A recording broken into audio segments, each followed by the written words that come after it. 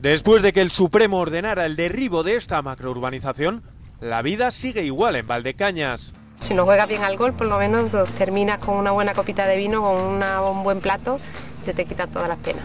185 villas lujosas, un campo de golf, un hotel y un enorme embarcadero que ahora la Junta de Extremadura se resiste a demoler y a devolver a su estado natural. Así lo afirma en este documento al que ha tenido acceso el país. La devolución de la isla a su estado natural tampoco va a devolver a esta ningún valor ambiental, pues carecía del mismo. Según el informe, cumplir la sentencia del Supremo que obliga a derribarlo costaría 34 millones de euros. Así que la Junta explica que es mejor para la zona mantenerla urbanizada. Lo que llevan haciendo muchísimos años, el pelotazo este urbanístico que hacen eh, todos los delincuentes del ladrillo que nosotros construimos y luego a ver quién lo tira. Un área que cuenta con tres tipos de protecciones. entonces es por eso por lo que habían declarado CEPA, LID y dentro del área de Natura 2000, porque es una zona protegida. Aunque en el escrito el gobierno de la Junta lo ve de otra manera.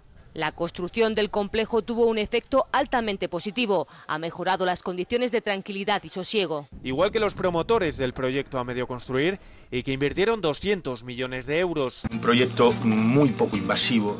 Los pueblos de alrededor también están en contra del derribo porque aseguran que sería la ruina económica para la comarca.